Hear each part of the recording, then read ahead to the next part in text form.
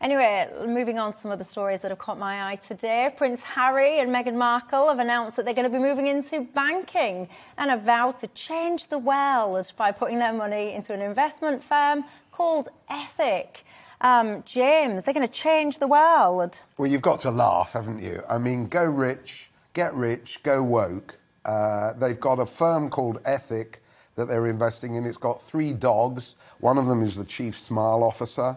It's investing in those radical causes Amazon, Microsoft, Google, uh, and Apple.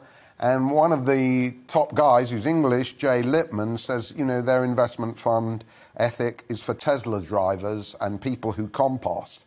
Uh, but I think the converse of getting rich and going woke is the famous one go woke, go broke. Mm-hmm. It's all going to end in a bubble bursting.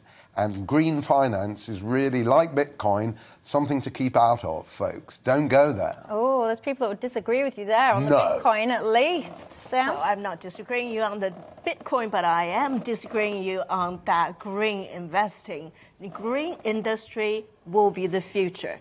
And we know Tesla, we know now we have energy shortage. How to resolve that? It's not by doubling co-production like in China.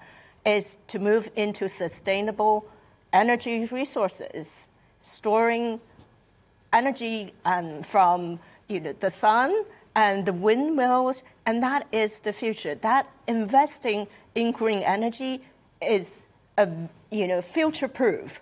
And whether this ethic fund is future-proof, that's another question.